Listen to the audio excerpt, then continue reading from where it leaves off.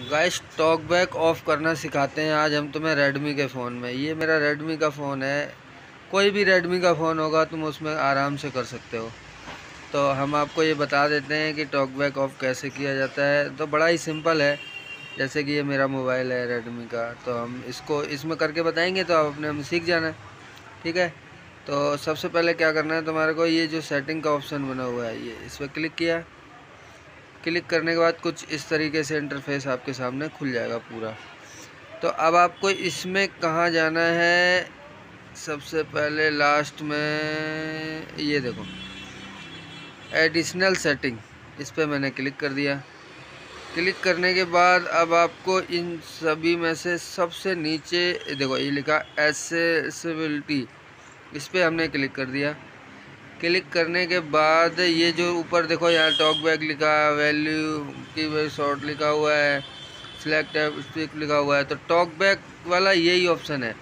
तुम खोलोगे, देखो मैंने क्लिक किया यहाँ पे ऑप्शन ये ऑन और ये देखो, ये जो ऊपर के साइड में है कोने पे, इसको हमने ऑन कर दिया।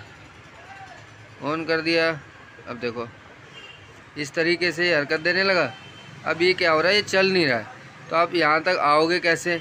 वीडियो को तुम दोबारा देख के कर लेना, लेकिन ये अब यहाँ तक आना कैसे? तो तुमने क्या किया? इस पर डबल क्लिक करना है।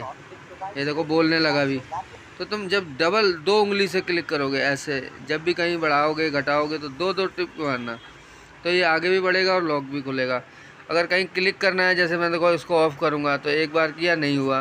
तो इसको क्या करना है? तुरंत ही डबल करना है, ऐसे ना वन टू मतलब डबल करना है। ये देखो आ गया नीचे। वैसे डबल बार हमने किया तो नीचे देखो ये लिख के आ गया। टॉक बैक ऑफ़ इस पर भी किया, देखो सिंगल में नहीं हो रहा। इसको भी डबल करना है। देखो हो गया? अब देखो, इस तरीके से बिल्कुल ओके है।